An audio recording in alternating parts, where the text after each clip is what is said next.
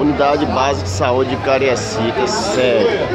Uma vergonha, mais uma vez sendo assaltado e deixando a população aí, ó, sem o atendimento. Só nessa semana é a terceira vez. Ó. Isso é uma vergonha.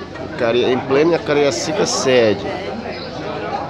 Posto de saúde aqui sem atendimento até no momento, porque foi, foi assaltada. Não tem vigilância, não tem nada. Isso é uma vergonha. Prefeito de Cariacica. O que, que você está fazendo na prefeitura? Ah, será que está dormindo? Passeando? Para não estar tá vendo isso? Não resolver essa, esse problema que está tendo? Só nessa semana é a terceira vez, fora as outras vezes no mês, durante um ano.